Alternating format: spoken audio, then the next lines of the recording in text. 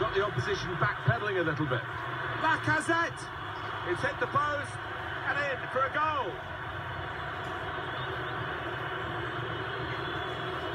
Well, you're too young to remember, Alan, they used to have square goalposts and